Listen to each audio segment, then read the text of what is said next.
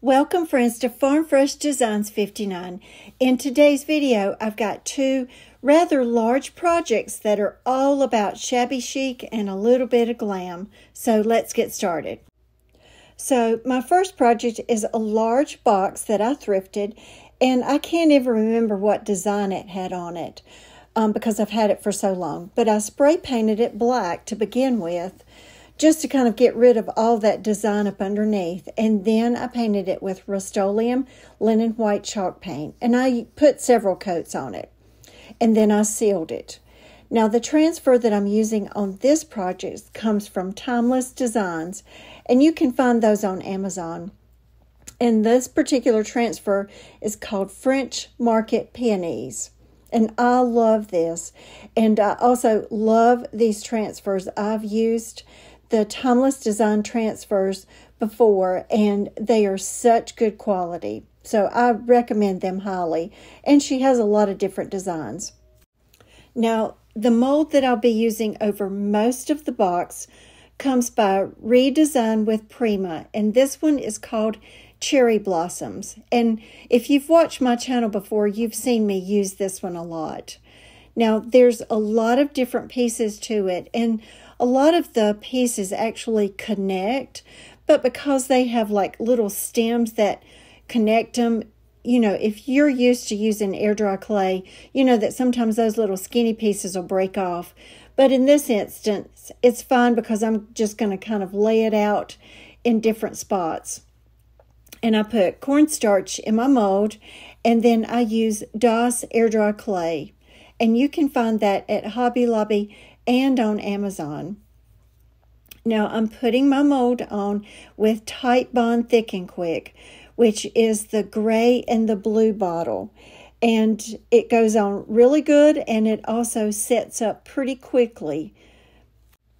So if you're new to my channel, um, I do not like glue on my fingers and on my hands. So I use either a little silicone stick or a popsicle stick to put the glue on. And then I figure out where I want it placed and just touch it really gently on the edges to make sure those edges go down. And then on this one particular piece that I want to lay over on the side, I press it down really gently because I don't want there to be a crack in it at all. And because I want to secure it really well, then I just use a little bit of painter's tape on it but I don't leave it on for very long at all, just long enough for it to set up. But the one thing I do like to do with my molds is I like to go ahead and put some white paint on it before it begins to dry, and that keeps it from cracking. And I just put it on really gently with a soft brush, and I just go all around the edges. And sometimes it kind of will settle in the cracks and so I'll kind of dab at that just a little bit so there's not a lot of extra paint on it. But on all the molds today on this box, I just need to only put one coat of white paint on the molds. Now, this is the IOD bauble mold, and I'm making just part of this with the hot, high temperature hot glue gun. And I'm just using that little part of it. Now this is a pretty long screw and I'm letting it stick into that hot glue for just a little bit and it leaves an indentation in it. Because then what I'm going to do is I pour that or put that hot glue back in that mold again and set that bauble that's already been made on top of it and it makes it double-sided. And if you notice there's a little bit of hole, a little hole in it. So I have drilled a hole in the top of the box and then I'm just going to screw it in. Now, I'm not going to lie to you. It was pretty difficult to screw in, but I was determined that I was going to use this as like a little top for this box to be able to open it really well. And I was really, really pleased with how it turned out. Um, I didn't want to use resin because um, I thought that the resin sets up too fast and I wasn't really sure how the screw was going to do in it. So this was pretty much trial and error, but I like the way it turned out. Now, once again, even though this is not air dry clay, I'm just going to go ahead and get it painted white. And once again, this one only takes one coat of paint. Now, this is another part of that same transfer set, but right now, all I really want are the flowers that are sitting in that little um, picture right now. And this transfer set has three pieces in it, and each sheet is 6 by 12 inches. So you really get your money's worth with this transfer. But these particular flowers that were in that water bucket are a little bit smaller than the other ones in the transfer set. So I just need those flowers. So I sort of fussy cut it. And then I cut a little strip down the middle and kind of cut a little um, indention in it because I'm putting that transfer around that little topper. And then um, I apologize, I forgot to show you that transfer that it says Paris right there on the side. And that is also part of that transfer set. So now I'm going to be starting on the sides of the box. So once again, I put my transfer on.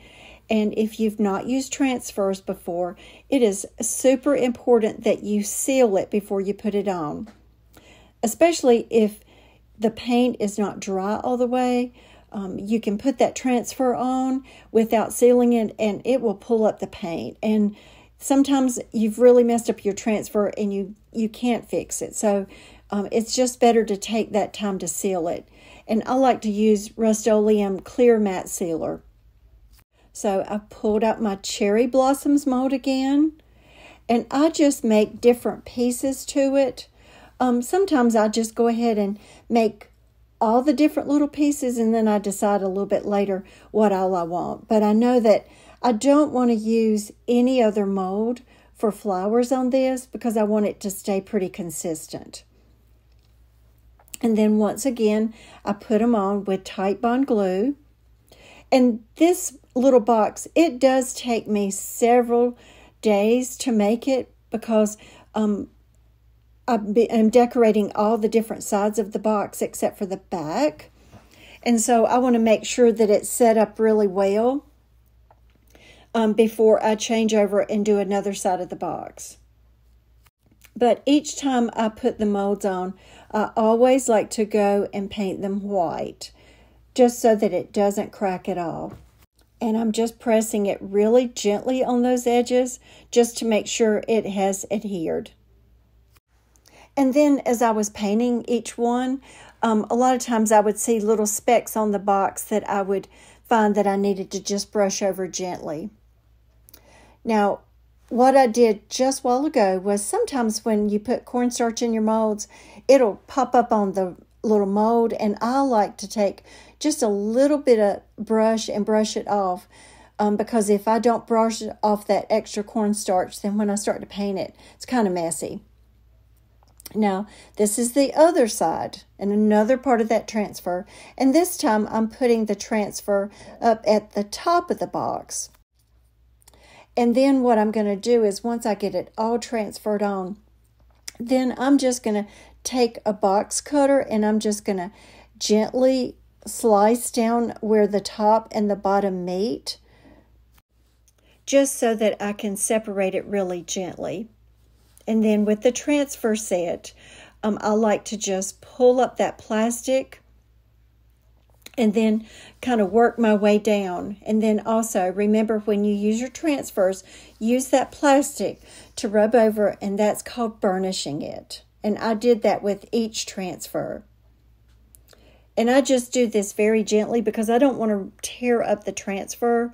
And I just open it up and rub my finger across just to kind of push down those little edges. And it did make a little mark in it a couple places, but I was fine with that. Now I want to add just a little bit more to the top of the box and there's a little piece of the transfer that has a bumblebee on it. Now I also, once again, I want to put that Cherry Blossoms mold on the other side of the box. But because that transfer is up at the top, I tend to put a little bit more mold on that side and I just do it all down at the bottom and I don't try to work my way up to the top of it. So now I'm going to be finishing the top of the box and there's just a little bit of wording Um, and I put that up at the top where I did the transfer that said Paris just because I wanted something a little bit extra so it, it, it didn't look like it just kind of stopped. And then I used that little bumblebee transfer and it faces the front of the box. But I love these transfers and they do such a good job and they go on really well, but I highly recommend them. Okay, so now I have finished off all of the box. And one of the things that I forgot to film is I used the IOD lock and key. And I just wanted to put something on the front of the box just to make it look like it, it did have a lock on it. And then up at the top of the box, you'll see in just a minute um, that I didn't film putting more of that cherry blossoms mold on it, but I did put some of that up at the top. Now it's all dry and I'm just using gold gilding wax to just bring out all the detail in those molds and I love it. And this is going in my craft room and I'm super excited about it. It is so pretty and it's great storage. And I haven't decided what I'm going to put inside of it, but I love it. So tell me something. What do you think? Do you like this transfer set? And this mold that's so pretty. It, I didn't have a peony mold, but I felt like this cherry blossom fit in real well with it. But um, I'm not going to say this is my favorite project today because I love both of them, but I really do like this and I've been excited to be able to film this for you. But I am a pink girl through and through, so this is one of my favorite pieces. Now, if you're liking the video today, make sure to give it a thumbs up and subscribe to my channel if you're not already part of our family. Now, my next piece is just a paper mache um, dress form, mannequin. I'm not sure what you want to call it. And I bought this at Hobby Lobby. And I'm just painting it with Rust-Oleum linen white chalk paint. And I put about two or three coats on it because I wanted to make sure that it covered up that paper mache really well. But I like old dress forms and old patterns because I started sewing when I was eight years old. So I've always liked pieces like this. And once again, this is going to go in my craft room along with this box because, well, it's going to have a lot of pink on it too. So I'm going to be decoupaging this napkin on it. And I've used this before in videos and I love this napkin. It's got really tiny little pink flowers. And if you've not decoupaged a napkin, you need to make sure that you get through all the different plies to where you get down to the last piece where it's the final design. And I just take a little bit of painter's tape and just gently pull at the back of it. And this particular napkin has three plies to it. And then I'm just using my water pen to make those edges kind of a little jagged instead of it being so straight. But in the long run, I really didn't need to do this. This was a little bit more difficult than what I was anticipating.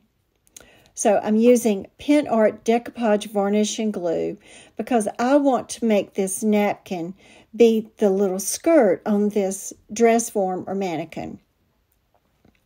Now, this is, this is where it got pretty difficult because it was a rounded surface, um, I ended up getting quite a few wrinkles on this napkin. It was not as not as easy as I thought it would be, and in hindsight, I probably would have maybe torn it into smaller pieces and decoupaged that on. So do as I say, not as I do, but um, it was a struggle bus to get this on, but in the end, I really like it. Um, but I was getting pretty aggravated because it wouldn't um, conform to what I wanted it to do.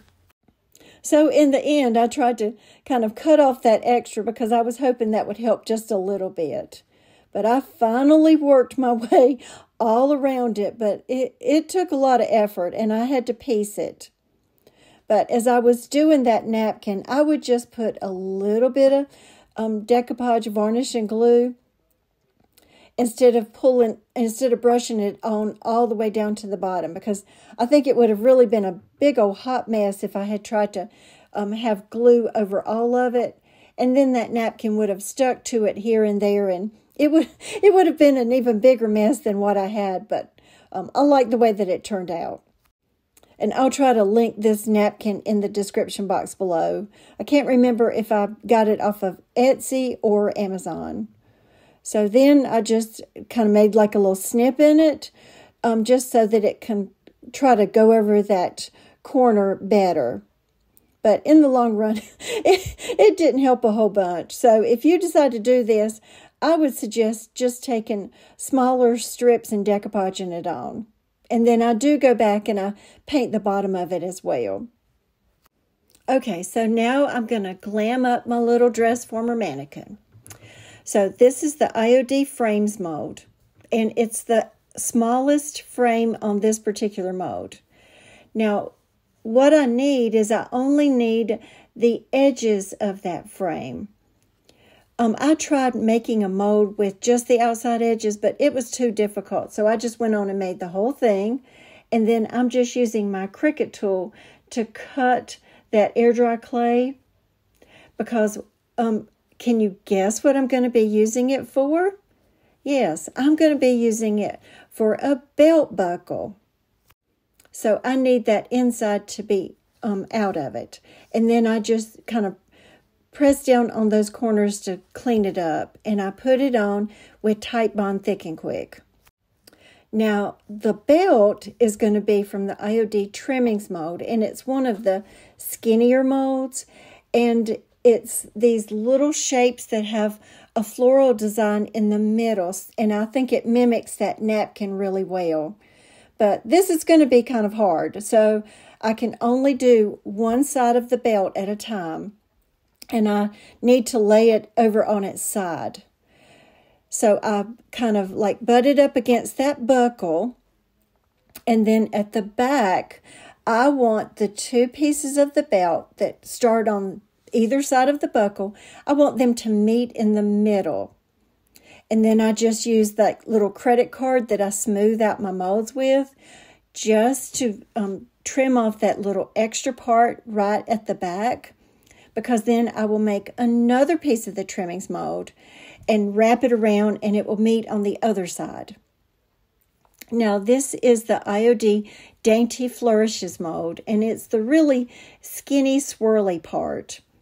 And I'll let it set up over to the side because it's really um, thin. And so, what I like to do is let it set up, and then that way, when I take it out, it comes out a little bit easier. Now, this is the IOD Cameo mold, and within that little mold, there is a little cameo that's more in the shape of a rose. And so I, it's in the center of the mold. And so I cut that out and then I put that in the middle of the buckle. Now, the Dainty Flourishes mold, I've kind of let it sit out for a little bit so it can start to set up better and it then that way it doesn't pull out or break when I pull it out because now what I'm going to do is I'm going to make her like a little necklace. So I take one side and then I put it, I'm going to take the other piece and it's going to meet in the middle down in a V shape. And then what I like to do is I go ahead and um, I've already painted all of these white and I'm going to glam it up with the gold gilding wax. Now, one of the things that I forgot to film is that um, at the V point of this little, I made like a little necklace, and that is another part of that IOD cameo mold, and you'll be able to see that in the final reveal. But I've painted all of the molds white and made sure they were good and dry, and then I'm just put the gold gilding wax on it. Now, I really debated on the top of this little dress form, I thought about painting it pink, but I couldn't find a pink that matched it exactly. And so I just opted to keep it white. And then that way the little necklace and the would can have the gold gilding wax on it. So, what do you think? I just think it is so precious and I love it. And you can see on that napkin where it wrinkled just a little bit. But um, in the long run, it turned out fine. But I love this and I just think it's so sweet. And my granddaughter hasn't seen it yet, so I'm sure she's going to like it a lot too because she likes jewelry. And there's that little cameo mold. But I love the way this turned out. So this is going in my craft room as well. So friends, we are at the end of the video. Now I've used lots of molds today. And if you want to recreate projects like this, use whatever you have. It's just that um, with this particular transfer, this was the only mold that I had that mimicked those flowers. But I love the way that both pieces came out. Um, and in my last video, I mentioned that I had closed my vendor booth. Um, sales were really down, and I just felt like I didn't need to keep it right now for you know any length of time. Um, I want to make sure that you know the economy has picked back up before I have a vendor booth. So what I'm making these days is just going to be for me, or I'm going to give it away. So, in the comments below, tell me which was your favorite piece today. And I don't I can't say that one or the other is my favorite because I really like both of them so so much. So once again, if you enjoyed the video, make sure to hit a thumbs up and subscribe to my channel and make sure to turn on the notifications button so YouTube will notify you when I upload my next video.